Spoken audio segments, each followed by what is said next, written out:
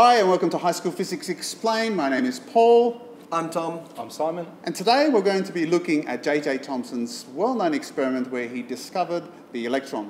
I already have a video on J.J. Thomson's experiment and I encourage you to watch this. The focus here is to really look at a really great experiment to show one aspect of his experiment. So you should know that J.J. Thomson deflected an electron beam with both a magnetic field and an electric field and therefore determine the velocity. That's not this part of the experiment. This part of the experiment takes the second step, which is looking at deflecting it in using a magnetic field and thus determining the charge to mass ratio. And here we have a fantastic demonstration that probably most schools don't have to demonstrate that aspect. And I'm going to let Tom introduce that. So this experiment is a, is a really nice experiment to show the charge to mass ratio of an electron. Uh, back in the day, we, we understood that atoms, coming from the word unbreakable, didn't have anything else in them, right? But now we've started to think about, well, back in the J.J. Thomson's day, we've started to think about atoms having other things in them, right? Subatomic particles, mm. right? But we didn't really know how they worked. We couldn't really measure their mass. But what we could do is figure out some other properties like charge to mass ratio, that is, the, the ratio of their charge and their mass, which tells us a little bit about them. Mm. And this is an experiment that shows the charge to mass ratio of an electron. So, how does it work? So, the setup is I've got a cathode ray bulb here, a cathode ray tube, very much like the one in a television, but just a little bit more uh, specific. And uh, in there, it's being accelerated with a lot of voltage from the power pack uh, this way and you can see the, the green or blue beam coming out of that cathode ray in that direction. Mm. And there's no magnetic field here, so this is just going straight out. And we can measure the energy of that by how much voltage we're giving it. These coils around here is a Helmholtz coil set up in a specific way such that there's a uniform magnetic field through the center of here. Uh, one of Helmholtz's, Helmholtz's contributions was this Helmholtz coil setup where you can have uniform magnetic field and that's very important. Mm -hmm. If we change the current going through these wires, we can change the magnetic field in that bulb and therefore change the direction of the cathode ray. I'll show you. Cool.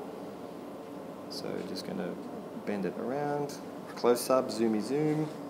If I have a larger current, the cathode ray beam will turn all the way around into a circle, essentially. If I have less current, up to zero, it goes straight.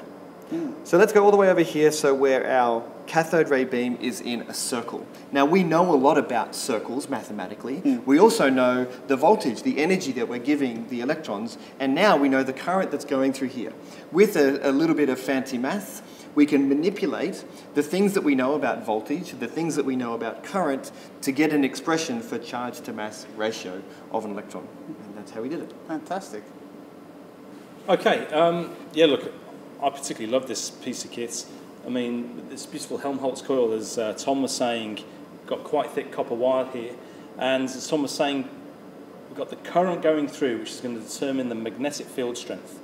Now that is, you know, the force on a charge in the magnetic field acts towards the center.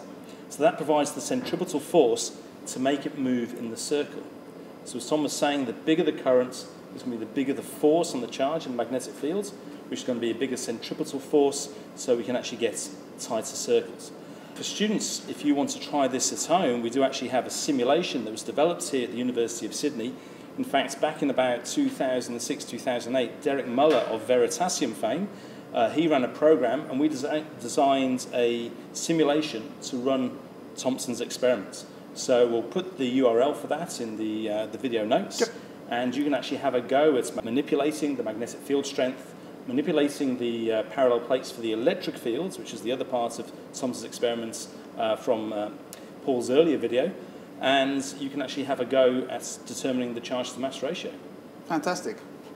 Well, I hope that has helped you understand J.J. Thomson's work a little bit better and encourage you to check the links down below and certainly think about also of getting yourself involved with, let's say, the Kickstart program here at Sydney University of Sydney uh, if you want to do some of these experiments with your students here at the university. Thanks for watching. My name is Paul. I'm Tom. I'm Simon. Take care. Bye for now. Thanks for watching. Please remember, like, share and subscribe. And by the way, drop a comment down below if the video particularly has been useful. And finally, consider supporting me via Patreon. The idea is to develop resources and equipment to continue to teach physics at a high school level. I'm Paul from High School Physics Explained. Bye for now.